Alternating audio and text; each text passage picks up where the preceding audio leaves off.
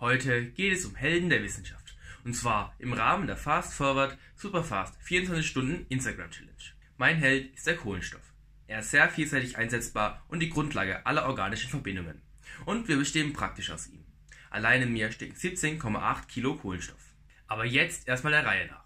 Kohlenstoff, lateinisch Carbonium, steht in sechster Stelle des Periodensystems und ist damit ein Nichtmetall.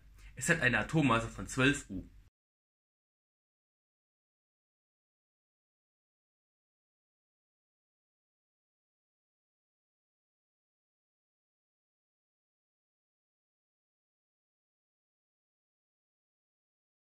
Kohlenstoff kann in drei verschiedenen Modifikationen auftreten: als Graphit, Diamant oder Fullerene. Fullerene sind aber nicht natürlich. Graphit und Diamant waren schon seit der Steinzeit bekannt, aber der Kohlenstoff in ihnen konnte erst 1772 nachgewiesen werden. Fullerene konnten erst sogar 1985 nachgewiesen werden. Deswegen steht beim alten Brockhaus auch erst drin, dass es nur zwei Modifikationen gibt. Das Vorkommen dieser Modifikationen ist unterschiedlich.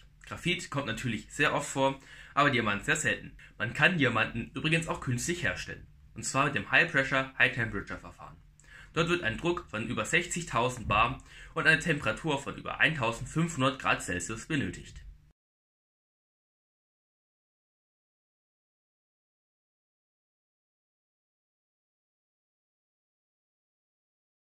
Kohlenstoff unterscheidet sich in seinen Eigenschaften sehr stark je nach Modifikation.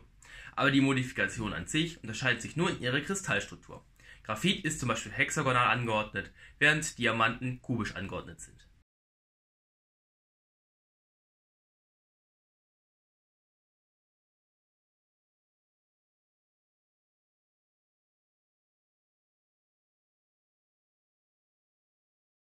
Die Kristallstruktur von Fullerenen sieht in etwa so aus. Es erinnert sehr stark an einen Fußball, denn es besteht aus fünf und sechs Ecken, die so Art rund angeordnet sind.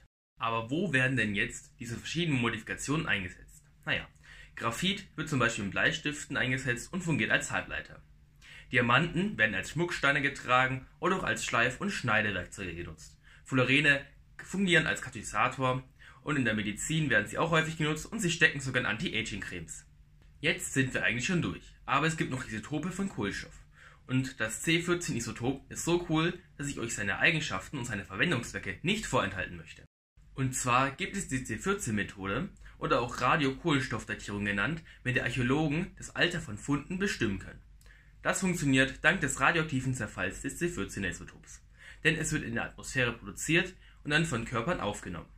Wenn der Organismus dann kein C14 mehr aufnimmt, weiß man, dass er gestorben ist. Und somit kann man dann zurückrechnen, da die Atome sich immer weiter abbauen. Und so kann man das also herausfinden. Aber auch nur bis 50.000 Jahre, denn danach wird die Methode viel zu ungenau